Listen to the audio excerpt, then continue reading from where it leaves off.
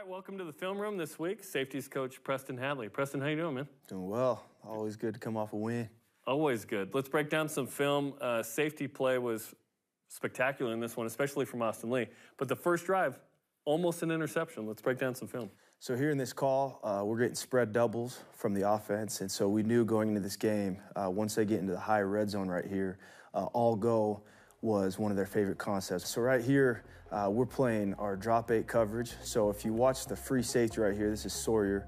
Uh, he does a really good job of reading the quarterback's eyes, and you can see the quarterback staring down the bender right here to the tight end, and he ends up in a good spot. If we just go to the back view, you can see again, and, our coaching point for the for the free safety, or whoever our middle of the field safety is, is you want to see the quarterback's face mask and then feel the tip of his shoulder pad, and when those two align, that's when you know. He can only throw the ball where the shoulder pad is, where the, his front shoulder's pointing. Unless it goes no look Mahomes, right? Unless it goes no look. uh, but good luck completing those. Those are cool and stuff. But Yeah, I'd like to see the. I'd like to see the the percentage, the completion percentage on those. Right. From right here, you can see the quarterback, balls to his ear, pulls the pin on the grenade, and then that's really good by Sawyer. Okay, next play. Austin Lee on a third down makes a spectacular open field tackle. Yeah, so this this is really nice. So it's third and three. So if you watch Austin right here, this is a really good job. We call the term we use is sheltering, where he's playing it deep to short. He's showing body support here and leveraging the flat, sinking underneath, any curl or corner routes. And then that's that's good body position by him, where he can break, tackle, and then when making a when making an open field tackle, all right, this is just our speed and space drill. When he's coming to make an open field tackle, we call it 60-40, where he wants to attack a shoulder one of the shoulders of the ball carrier and influence him to go opposite. So this is really good by him taking grass, going coming in 60-40 and making an open field tackle for a loss on a really, really good running back. And then last but not least, uh, Austin Lee again prevents a would-be touchdown in the end zone. Two breakups in the end zone.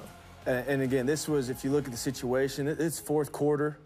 We're, we're down three right now, and one of our emphasis this year on defense is just uh, playing great red zone defense. We knew they liked what we call snag or spacing type routes, where you get someone attacking the flat, someone attacking the corner, someone settling over the ball. And this is just great preparation from Austin uh, before the game. If you if you see him pointing, he knows exactly what play is coming. If you watch just the uh, the switch releases by the two and three. This is really good with their eyes. Both of them should be keying this guy. He'll tell you exactly who you got to cover.